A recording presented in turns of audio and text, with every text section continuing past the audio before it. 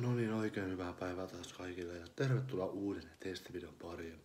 Tämä kyseinen juoma on ollut mun videolla testissä ennenkin.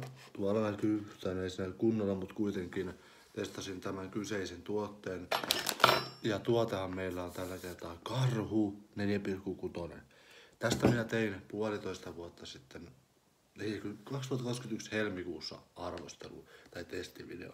Mutta tälleen 2021 ihan lopussa voidaan kyllä antaa sen verran siimaa ja tehdä uusinta testi tästä.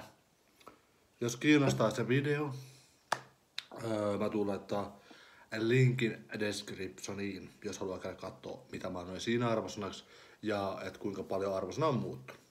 10 tykkäystä, nyt tehdään uusi osa ja kiitos Ankka, kun ehdoitit tätä testivideoaihetta. Ei mitään, aloitetaan testaaminen. Saa törkkiä kautta. Oho. No, kaadetaan lasi.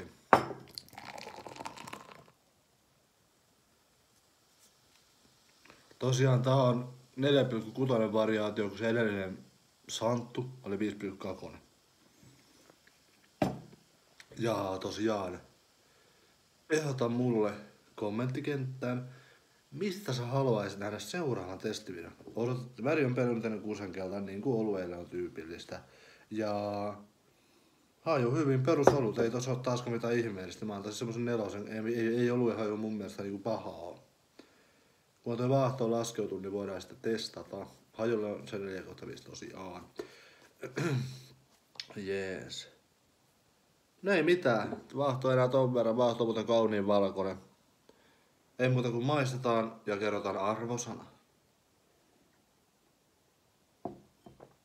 Jos niin ruvetaan miettimään tätä makua,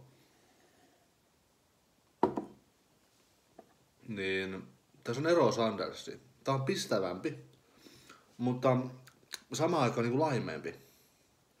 Eli tässä on vähän plus minus nolla maku. Ei tämä maku paha ole. Ei.